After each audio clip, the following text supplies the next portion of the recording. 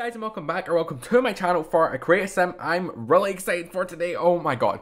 Basically, as soon, okay, let me actually do a real introduction to the video. So today, we're creating Melanie Martinez K-12 era kind of album slash masterpiece. Oh my god. As soon as this album slash movie came out, I was like, I wanted to create some on this, but I couldn't find the right custom content.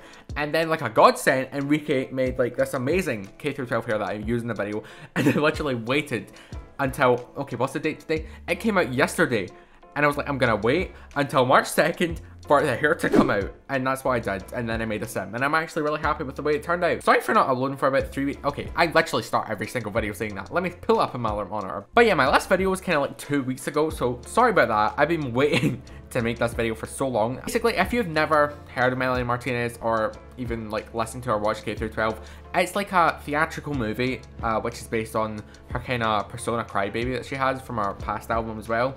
And she's basically going through like all like the kind of stages of school or like all the years of school pretty much and um highly recommend you watch it it does touch on some pretty sensitive subjects if you've never watched it i highly recommend you watch it there are no songs on this album that feel like a filler like all of them have their own like kind of meaning in place in the movie. But yeah, this sim will be up in the gallery and I'm to try and make a custom content list for the video, even though I did say in the last video that I make a custom content list. And I didn't actually end up doing it, so you know what, we're to skip past that. Also, sorry for the late upload, kind of a hectic day, but I'm finally getting around to recording it. So there's that. So with that being said, I'm to go wrap up the voiceover for the video here because there's like a minute left in the video, so I don't even know. It was like fast create a sim for me, which is surprising because I've literally made this sim, or tried to make this sim about four times, and then crashed and like burned every single time.